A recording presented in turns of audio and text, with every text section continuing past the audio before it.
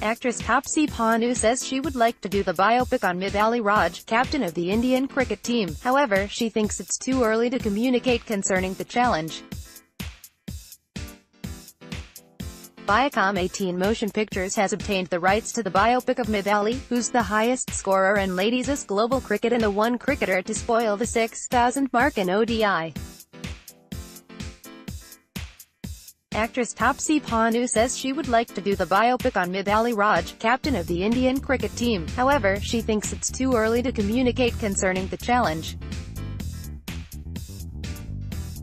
Viacom 18 Motion Pictures has obtained the rights to the biopic of Mithali, who's the highest scorer in ladies' global cricket and the one cricketer to spoil the 6,000 mark in ODI. It was once reported that producers had been keen to get Taapsee on board for the challenge. The script is not in place, so it's too early to talk about it. Right now, they're collecting material and the script has not been written yet, so they've got it.